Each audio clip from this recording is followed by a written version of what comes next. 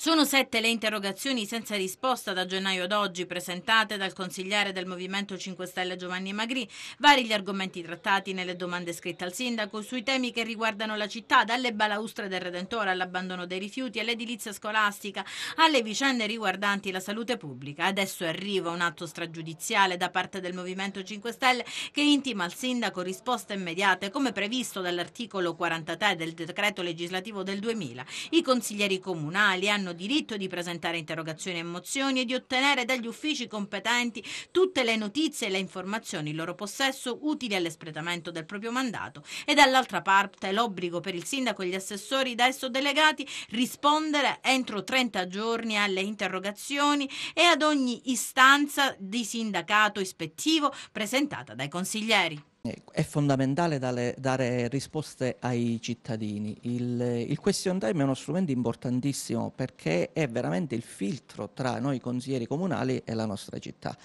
Parliamo tanto di democrazia partecipata e questo potrebbe essere veramente uno strumento molto importante. Quindi noi non facciamo altro che portare le istanze dei cittadini, perché sono gli stessi cittadini a chiedercelo, facciamo le interrogazioni e le portiamo in question time.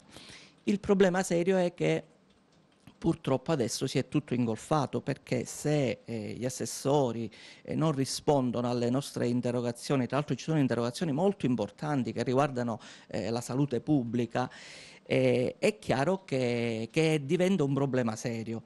Eh, il nostro atto è un atto oh, stragiudiziale ed è un atto che vuole solo invitare la Presidente del Consiglio il Sindaco a far sì che tutto si possa svolgere in tempi più brevi perché dobbiamo assolutamente dare delle risposte a tantissime interrogazioni, non solo all'interrogazione del Movimento 5 Stelle, ma a tutti gli altri consiglieri che le hanno presentate. Quindi si deve trovare immediatamente una soluzione per smaltire tutte queste interrogazioni, ma fatto in, comunque in modo serio, con delle risposte valide e serie.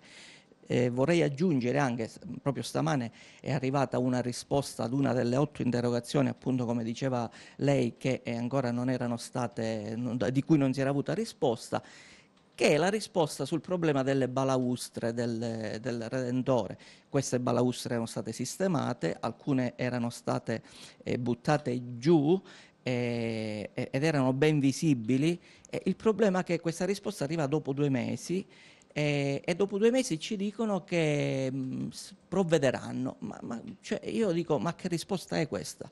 Cioè, io rimango veramente basito, noi rimaniamo basiti, perché questa risposta significa tanto il tempo passa, poi ce lo dimentichiamo. No, noi ogni interrogazione che facciamo l'andiamo a riprendere perché noi veramente vogliamo le risposte a tutte le interrogazioni che abbiamo fatto e, e i cittadini vogliono capire cosa è, si fa e cosa non, non si fa.